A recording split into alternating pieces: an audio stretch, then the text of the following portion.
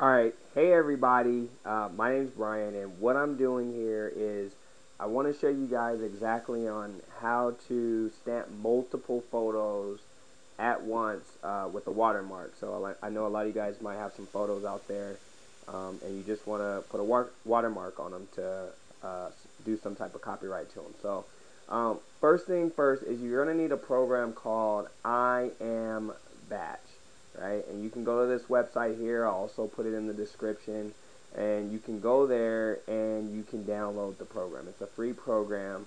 Um, and what it allows you to do is it allows you to batch together all your photos that you have. It doesn't matter the amount. And it will automatically add a watermark to whatever area you want. Um, and so once you download it, right, you'll simply install it. And then this is what the program looks like. So um, I'll show you exactly on how to do it. So when you come in here, uh, what you want to do is you want to drag and drop some photos. So the first thing is, let me drag some photos in here that I have. We'll just use these three here.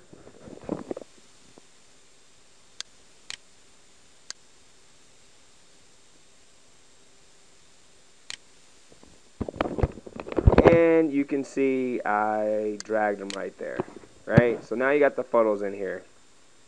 Um, another thing that you can do is you can preview the images. So you can see what exactly is going on. Oh, let me make it smaller so you can still see. Alright, then what you want to do is you'll come over here where it says add task right? You'll come over to the annotate and you'll add watermark. You see I already have watermark there, um, so you don't need to do it, right? Then it's going to ask you, um, right, which files you want to, uh, what do you want the file names to be, right? You can change the transparency of the photos. You can, um, change the orientation, the mode, right? You can sample, you can change how big you want it to be, you can change where you want it to be justified, and all that good stuff. So let me see if I can get the the image previewer to work so you can see what I'm talking about.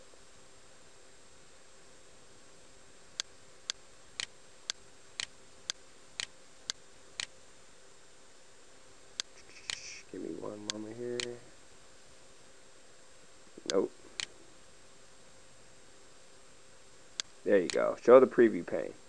So this is what it looks right now, right? And if I want to, um, if I want to pretty much uh, make that smaller, what I would do is come over here and let's just change everything to 100%. Percent.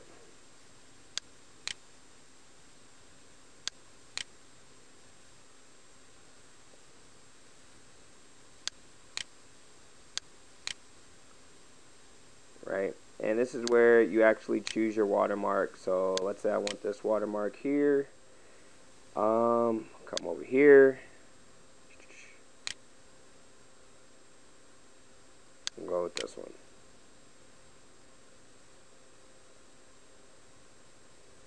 right refresh it you can change the transparency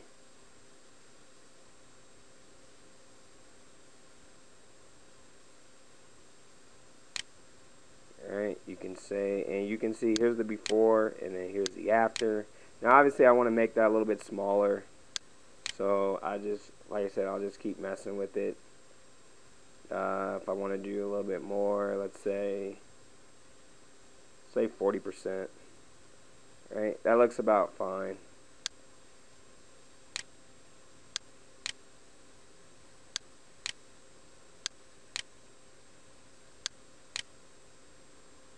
Right, there you go. And you see now I have a watermark on the photo. and if I wanted to be a little bit more transparent I would just simply dial it back some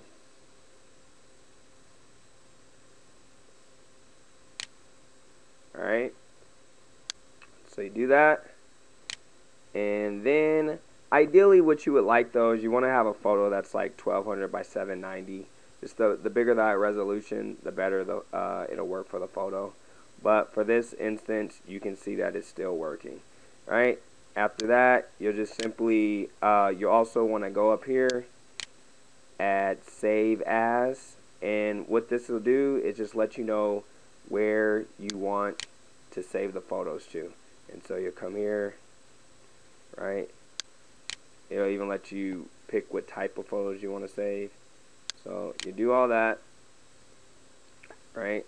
I usually save it as like a PNG right? Uh, and then bam you're done. And then you come over here and you'll just simply run batch imaging process and when you hit that it'll save I'm not gonna do it right now just because I don't want to really do those photos um, but that's it. That's how you do the batch process. And so with that uh, said if you um, have some questions feel free to comment but also I'll have uh, the link in the video in the description where you can actually download the software. So hope that helps. Enjoy and have a great day